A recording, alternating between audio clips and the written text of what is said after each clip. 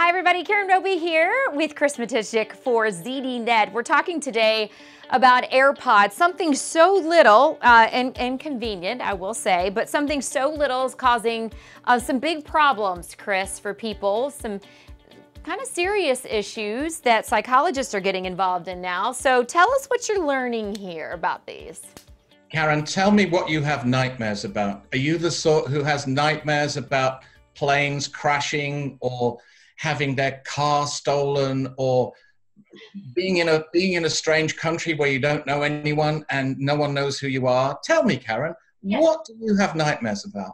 It would be something more like that uh, or you know being late oversleeping for something important or my kids doing something crazy.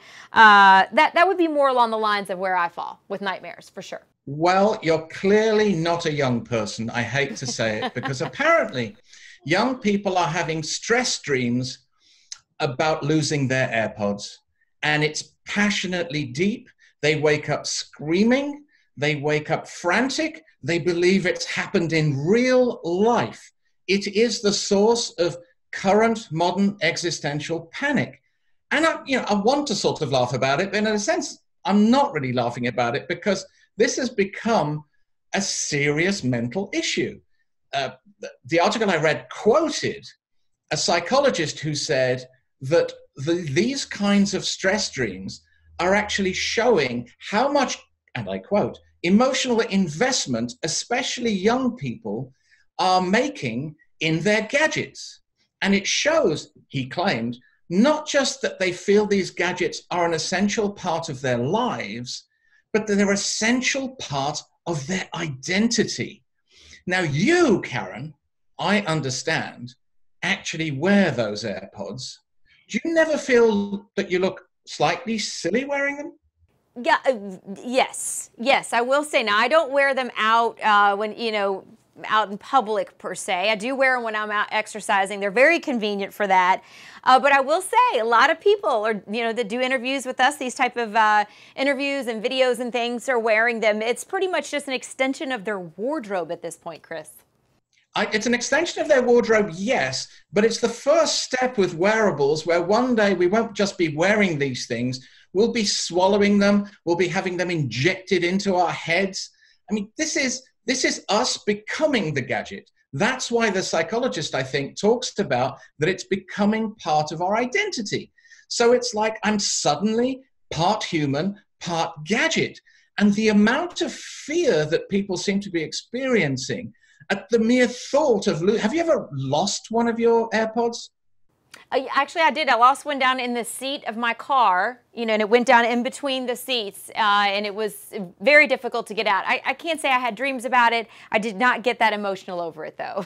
you didn't go to your psychologist and say, I have a real problem. I felt so emotionally distraught at losing my AirPod that I wasn't sure I could cope with the rest of my day, especially talking to those strange writers on ZDNet.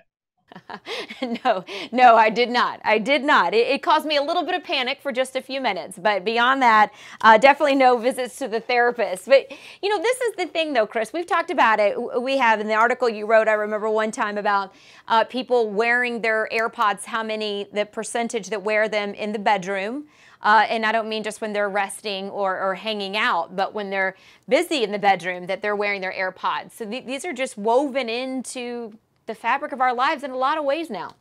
But it's a question of what they're actually, what that fact is actually doing to us. In that research that you're just talking about, 17% of people admitted they wore them during sex. Now, how many people wear them during sex but didn't admit it in that survey?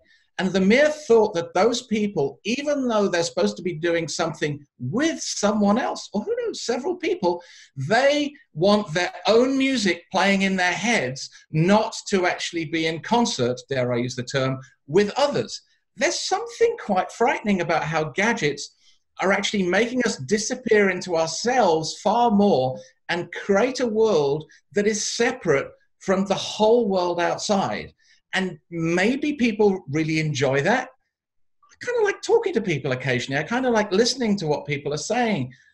And if I block myself off, it's kind of a bit strange. I mean, I don't really want to listen to myself all that much all day. Do you? No, most certainly not. Uh, definitely not. But I, I, think that that is the bigger bigger picture here is that how much we are uh, dependent on and becoming part of who we are.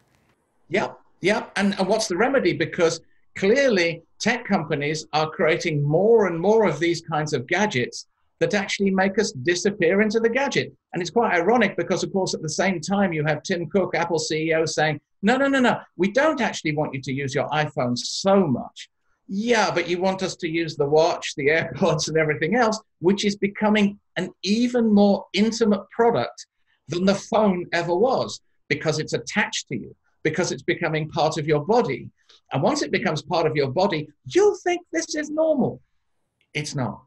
It's not. No, no, but it is kind of scary. And finding that happy medium with all of this, man, it's a struggle, Chris. But uh, we're glad that you continue to write these uh, interesting pieces. You always give us something fun that's a great talker. I'm continuing the struggle, Karen. It's all I can do. well, we appreciate it so much. For more on Chris's articles and about the uh, stress streams coming from the potential losing AirPods, make sure you check out ZDNet. Thanks for watching, everybody.